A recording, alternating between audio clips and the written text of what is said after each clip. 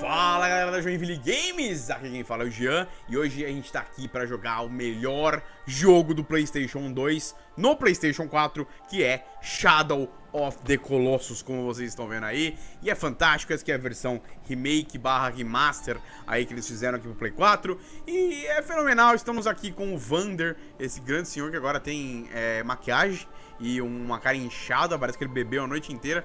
Mas ele está aqui com a senhorita que eu não lembro o nome, acho que nem tem nome, não, não lembro agora se tem nome. Ela, eu não lembro o nome dela se ela tiver.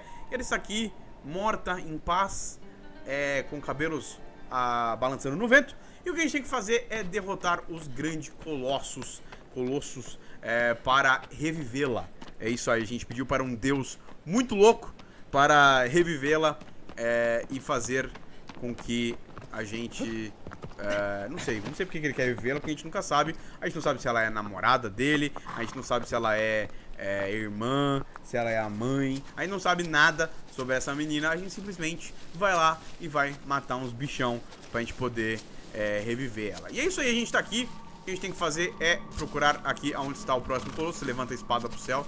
Quando a luz do sol bate nela, ela cria esse raio de luz que te aponta para a direção aonde está o seu, é, seu próximo objetivo. E a gente vai com o nosso cavalo maravilhindo agro para o encontro do ser bestial, gigante e maravilhoso, cara. E é isso aí, esse jogo é uma obra de arte completa. Pra mim, como vocês já viram aí no título, é o melhor jogo do PlayStation 2, na minha opinião, com certeza. É um jogo que combina tudo, ele combina é, um primor técnico com um primor de é, storytelling, né? Que é o jeito que ele conta a história é muito bem feito. E ele também consegue adequar tudo isso com um gameplay espetacular, sensacional, que nunca ninguém conseguiu nem chegar perto é, de fazer algo tão divertido e tão, é, sei lá, e tão empolgante quanto o Shadow of the Galinha aqui consegue fazer, tá, cara? Então, é, é uma obra de arte, se você não jogou, vá agora comprar esse jogo e jogá-lo. Tanto faz, você tem um Play 2 velho aí, vai lá e compra no Play 2, que vale a pena,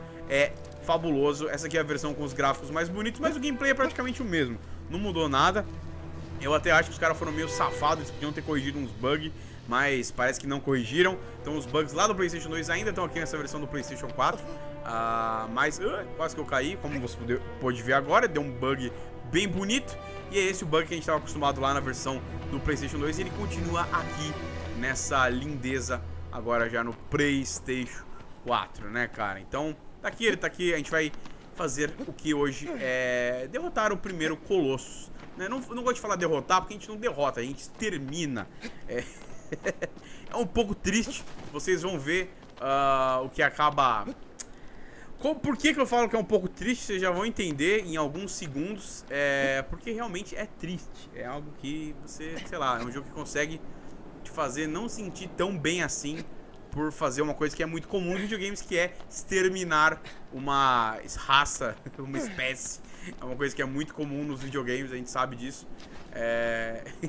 E esse jogo consegue fazer isso, que é uma coisa que acho que nenhum outro jogo conseguiu fazer, te fazer sentir mal por você realizar essas ações tão comuns nos videogames. E agora, silêncio para a cena mais impactante desse jogo.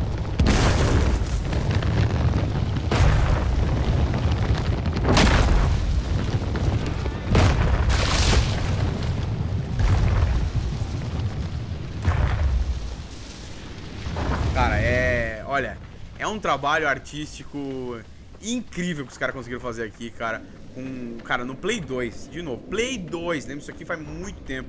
Esse jogo tem mais de 10 anos fácil. Tem mais de 15 anos fácil. Não, 15 também exagerei. Mas deve ter, sei lá, deve ter, ter bastante tempo. É um jogo bem velho e é fenomenal, fantástico. É, e é lindo agora que essa versão do Playstation 4 ficou muito mais bonito, com certeza. Mas, cara, olha, quando a primeira vez que eu vi esse bicho desse tamanho é, quando eu era uma criancinha idiota, é, eu fiquei, meu Deus do céu, embasbacado. E até hoje você vê o tamanho, olha o tamanho dele, cara. Compara, eu tô longe pra caramba dele. Eu vou chegar perto pra você ver. Olha o tamanho desse ser abissal. Olha só, mano. Eu sou do tamanho do, do, do, pé dele, cara. Nem é da altura do pé dele. Olha só a diferença de tamanho. É muito foda, cara. É muito foda. e é, é espetacular. Vamos dar uma... E aí, bicho, beleza?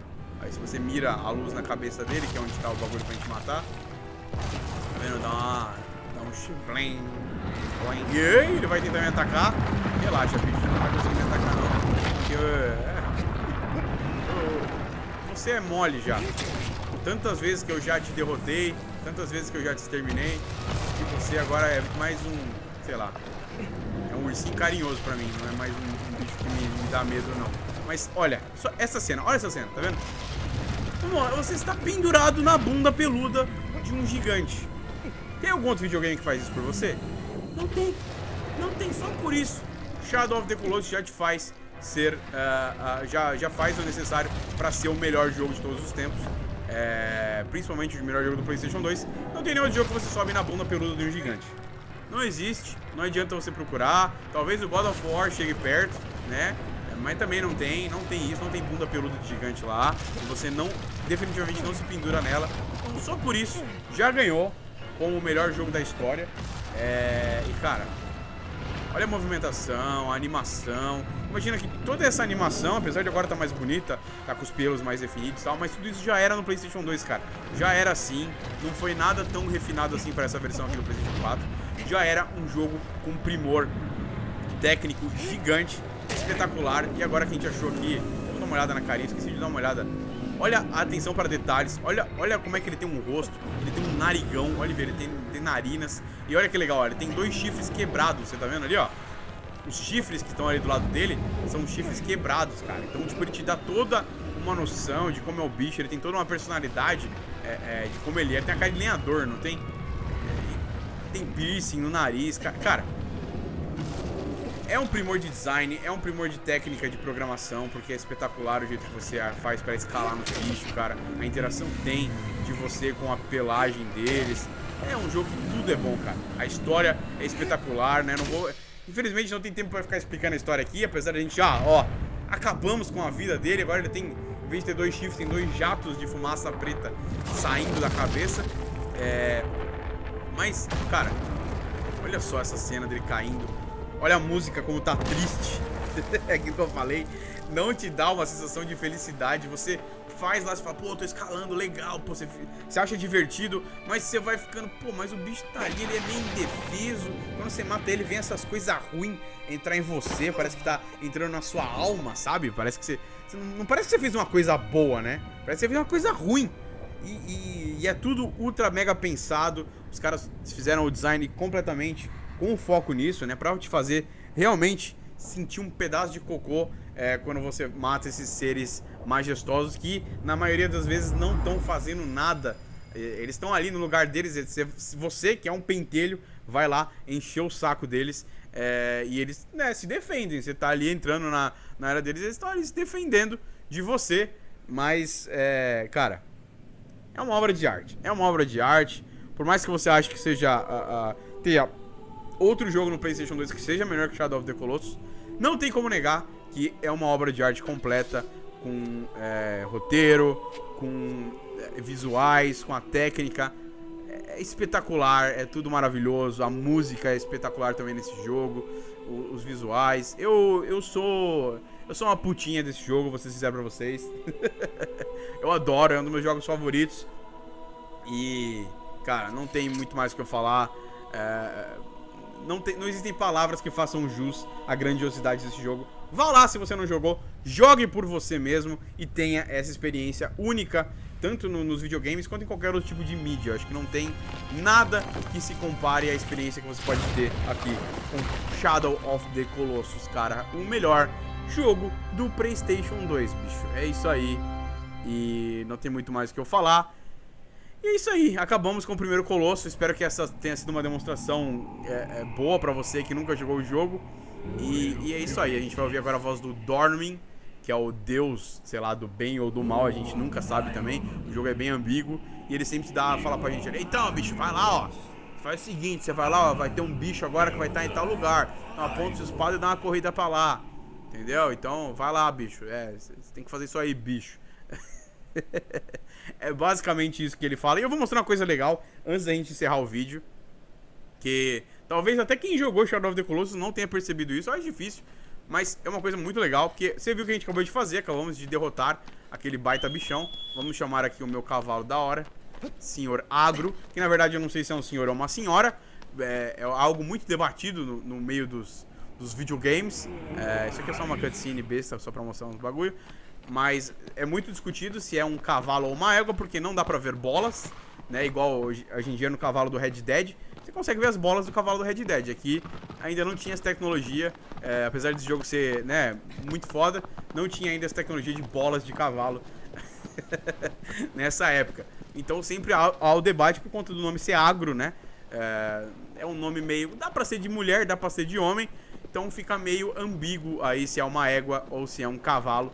E o jogo em si acho que não faz nenhuma definição completa do que é ser, né, cara? Mas tá aí, olha só, ó, olha o visual, cara. Olha esse visual, olha o jeito que a câmera se posiciona pra que tudo fique mais bonito. Parece uma pintura. É, é, é tudo muito bem feito, cara. É tudo muito bem feito. Mas é isso aí. Vamos só mostrar pra vocês aqui uh, um pouquinho de uma parada muito legal que os desenvolvedores pensaram. Que acontece o seguinte, eu vou lá visitar uh, o local da morte do bicho que eu tava, né? Que eu acabei de trucidar aqui com muitas espadadas na cabeça, no cucuruto. Uh, vamos lá ver o que, que acontece com o local uh, onde o bicho estava, cara. É... Cara, olha. Eu, como eu falei antes, eu pago pau desse jogo pra caramba. E eu acho que é válido. Todo mundo. Todo mundo que joga, acho. acho que não, eu não conheço ninguém que fale mal desse jogo. Não conheço ninguém, nunca vi, nem, nem vi. Que YouTube você sabe como é que é, né? YouTube você procura, você acha. Eu nunca achei ninguém falando mal desse jogo, falando, eu não gosto, Shadow Colossus é, é overrated, né? Que a galera costuma falar, né? Ah, a galera paga muito pau, não sei o que. Falam isso de The Last of Us, falam isso do, do, do, God of War, falam isso de vários jogos, mas de, de Shadow of the Colossus ninguém fala. E olha aí, olha isso que eu queria mostrar, olha que legal é isso. Esse é o bichão que a gente derrotou. E ele virou parte do cenário. Você tá vendo? Olha que fantástico. É isso, cara. Todos que você derrota, se você voltar pros locais de derrota, eles ficam assim. Tá vendo? Ó, ó a carinha dele aqui, ó, com o narigão. Os piercing dele caíram. E tá aí, mano. É com essa cena bucólica, triste, que a gente acaba aqui esse vídeo aqui de hoje da Joinville Games. Espero que vocês tenham gostado, pessoal. É, eu vou ficando por aqui. Vou deixar aí vocês com essa cena maravilhosa e triste. Por favor, não esqueça de deixar nos comentários outros jogos que vocês querem ver aqui no canal. Também não esqueça de deixar aquele joinha maroto pra gente na divulgação, de seguir as nossas redes sociais, se inscrever no canal e não perder os outros vídeos que a gente faz aqui na Joinville Games, beleza? Por hoje era isso, vou ficando por aqui. Um abraço pra vocês e também...